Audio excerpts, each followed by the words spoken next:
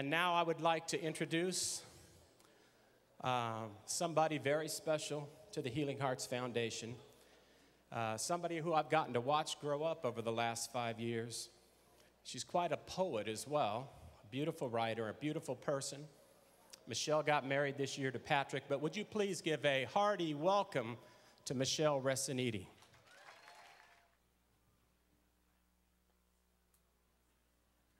Testing? Okay.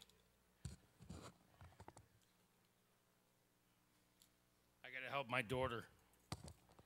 All right, Michelle. Thank you. There you go. Thank you. First off, I would like, like to thank you all for coming here, for supporting us, and for always remembering my brother Bobby, and for all of our angels who have gone too soon. Dad.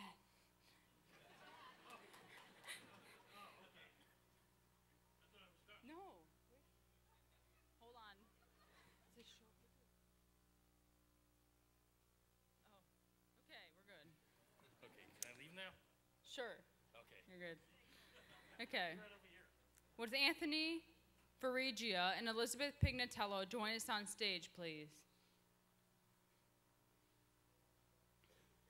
Anthony is the best friend of Joseph and will be accepting this portrait on behalf of his mom and dad.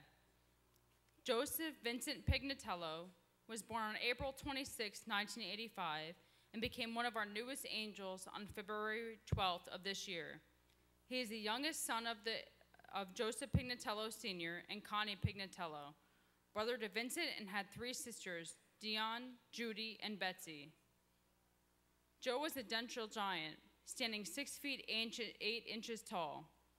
In his short life of only 26 years, his accomplishments surpassed those of anyone who lives a full and long life. He had his MBA in New Venture Management from the University of Nevada in Las, An- Las Vegas, a BA in Finance Mergers and Acquisition. He had his 66 and 24. He was just beginning to start JNC Global Securities, his own brokerage firm based right here in Coral Springs.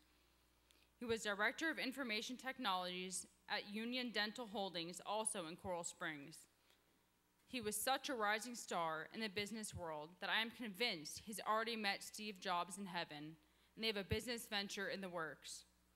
Recently asked to assist in coaching basketball at American Heritage School in Delray, Joe became such an inspiration to the kids that he was made permanent assistant coach.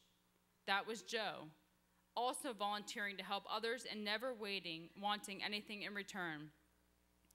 Joe was always the most charismatic guy in the room with his charm, his wit, and his wisdom that always left people mesmerized. His best friend Anthony Ferrugia is getting married next Saturday. Joe would have been attending as a groomsman, but unfortunately, he passed away the night that Anthony intended on asking him. Joe, don't worry.